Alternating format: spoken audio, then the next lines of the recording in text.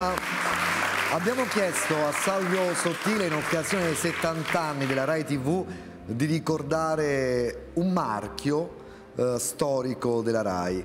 Tu hai scelto un marchio che insomma tutti conoscono, anche per le vicende personali che il conduttore di questo marchio ha dovuto subire. E si tratta di? Si tratta di Portobello, di Enzo Tortora, perché credo che Enzo Tortora fosse il compendio dei conduttori televisivi migliori che questa azienda abbia eh, sfornato per eleganza, per cultura, per modo di porsi al pubblico. E quindi siccome quando ero bambino guardavo Enzo Tortora e ho seguito poi tutta la sua vicenda, anche se da lontano, e l'ho rivisto in onda nel, dopo quel calvario che subì. E la prima cosa che lui fece fu rivolgersi al pubblico con l'amore di sempre. Lo vediamo questo ritorno in onda di Enzo Tortora dopo il calvario giudiziario e poi c'è un altro filmato scelto da Salvo su Portobello molto tenero che riguarda il pappagallo, ma partiamo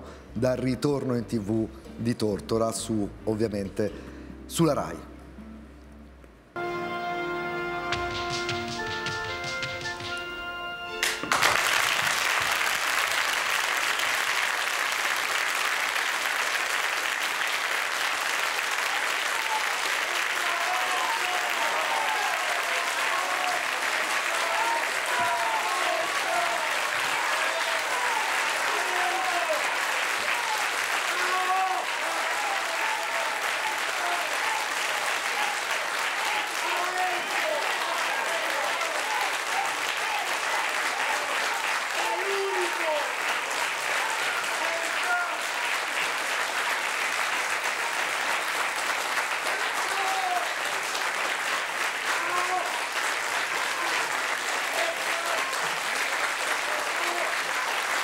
Dunque, dove eravamo rimasti? Potrei dire moltissime cose e ne dirò poche. Una me la consentirete. Molta gente ha vissuto con me, ha sofferto con me questi terribili anni. Molta gente mi ha offerto quello che poteva. Per esempio ha pregato per me e io questo non lo dimenticherò mai. E questo grazie a questa cara, buona gente dovete consentirmi di dirmelo. L'ho detto e un'altra cosa aggiungo. Io sono qui e lo so anche per parlare per conto di quelli che parlare non possono e sono molti e sono troppi. Sarò qui, resterò qui anche per loro. Ed ora cominciamo, come facevamo esattamente una volta.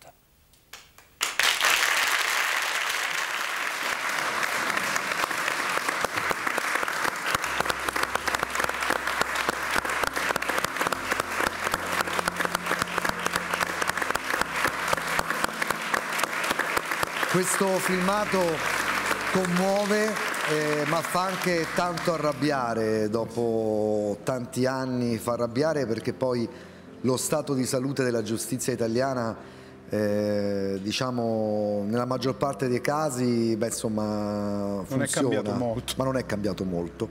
Voglio ricordare ai più giovani che Enzo Tortora viene arrestato il 17 giugno del 1983 condannato a dieci anni di carcere per traffico di stupefacenti e associazione a delinquere.